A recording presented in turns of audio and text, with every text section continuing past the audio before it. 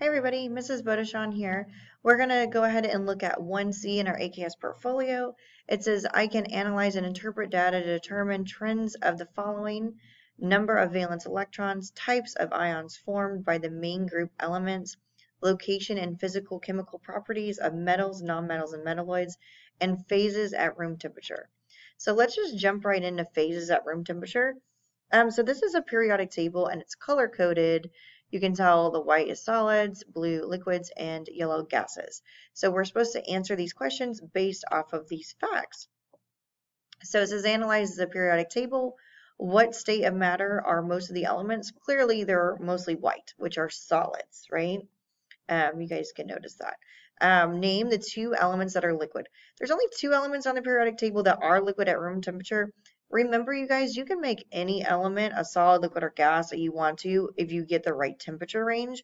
Um, but at room temperature, only two are liquid, and that's going to be bromine right here and mercury.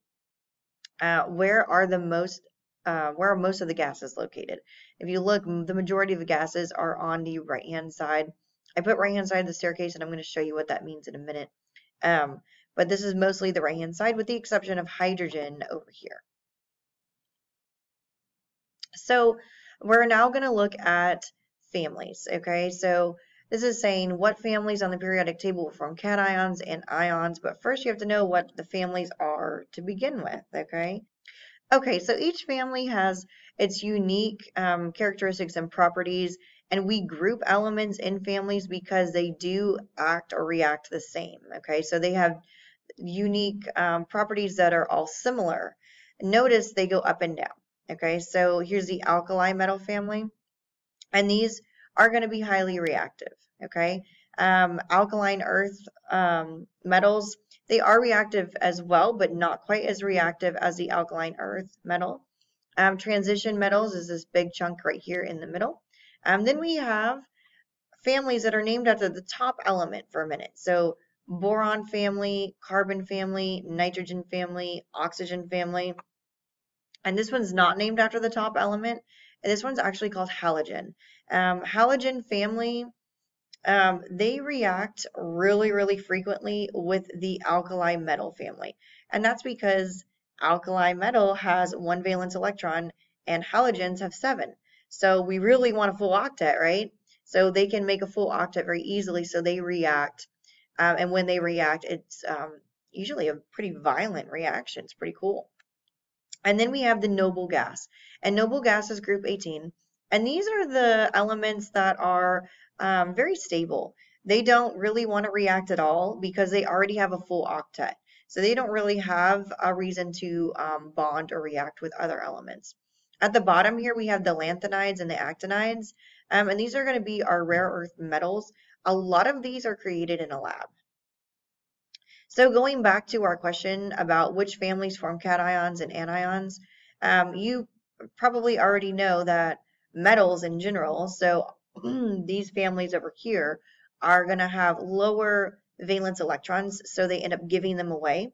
If we give away electrons, we end up more positive, so cations. So these families are going to be more cations, while our non-metal families are going to be accepting those electrons, so they become more and more negative and they become anions.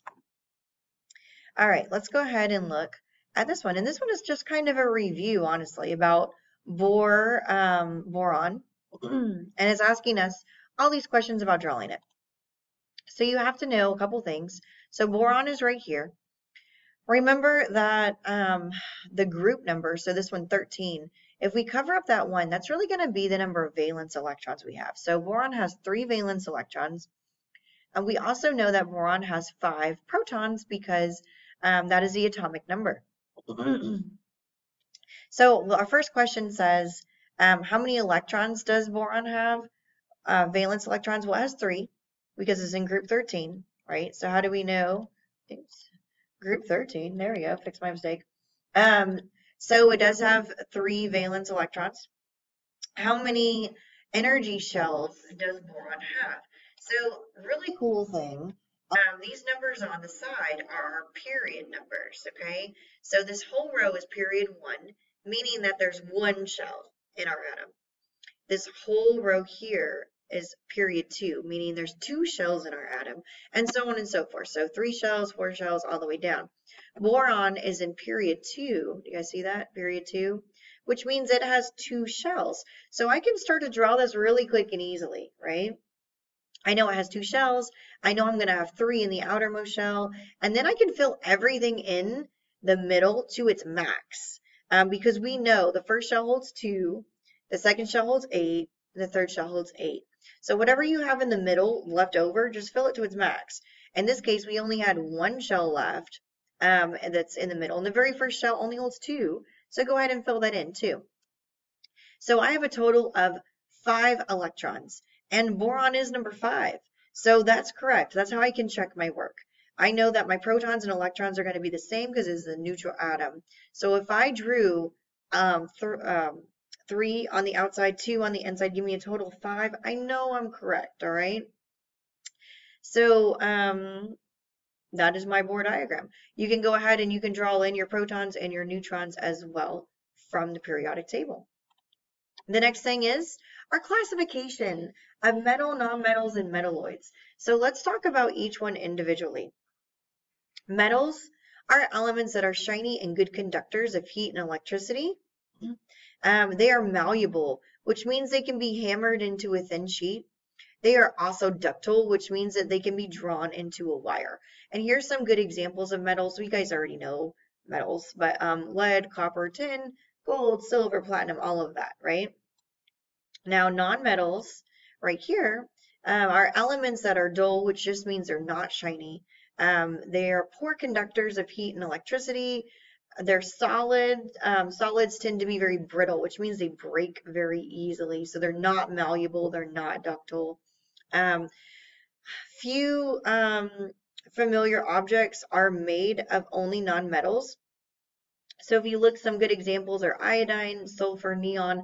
I also want you guys to notice that the majority of these are really not solids, okay? The majority of our nonmetals are going to be gases. And if you notice, the majority of our metals are solids, okay? So that's a definite difference between them. And then if we go over here to metalloids, metalloids are also called semiconductors. They have properties of both metals and nonmetals, so they share some of each. Some metalloids are shiny, some are dull. Metalloids um, are somewhat malleable and ductile, a little bit of each. Um, some, uh, some metalloids conduct heat and electric current well, while others not so much. Um, so this is going to be kind of like the middle ground, all right? If you notice, um, boron, silicon, all of these are going to be located right here on the staircase. So this big black bolded line, you will hear it be referred to as the staircase or the zigzag line, okay? Now, what that's really telling us is this is where the metalloids are found along the staircase. So anything to the right of the staircase is going to be a non-metal, with the exception of hydrogen. Okay, hydrogen is kind of just like a lost cause, and we just stick it there because hydrogen has one valence electron, and this is group one where the valence electrons have one. Um, but it doesn't really fit over here because what's over here? Metals. Metals are on the left-hand side of the zigzag line, and it's clearly not a metal, right? Nor is it part of the alkali metal family because it's a gas, all right? Um, we only put it here because it has one valence electron, and this is group one where those go. So if you look at the next thing on your sheet, you have this big table, and it says, hey, put these where they go to make sure you understand the properties of metals, nonmetals, and metalloids. so I went ahead and did this. You can pause it, look this over, you guys. Um, make sure that you know all of them, um, but they're here for you. All right, ask me any questions you need to. Thanks, you guys. Bye.